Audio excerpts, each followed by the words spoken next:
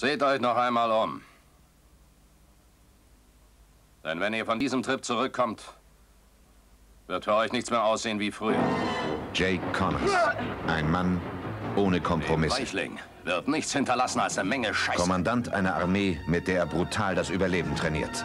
Vielleicht hat der Mensch neben euch euer Leben zu retten. Hank Chambers, ein eiserner Bursche. Gründer des Camp der verlorenen Teufel. Ich kann dich auch anders töten.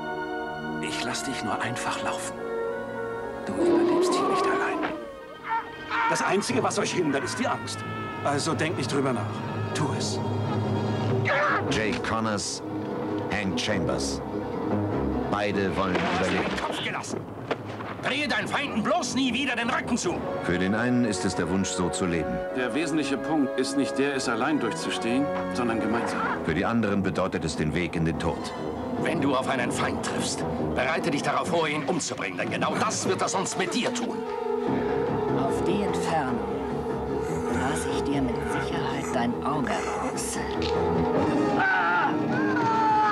Dass in der Realität der Tod auf Versagen steht. Jetzt geht es nur noch um dich und mich. Ja, richtig. Es geht um Sie und mich.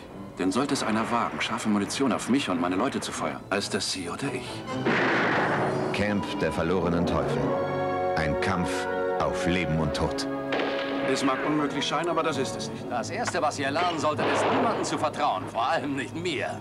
Wenn ihr sie fangt, sorgt dafür, dass es ihnen leid tut. Los!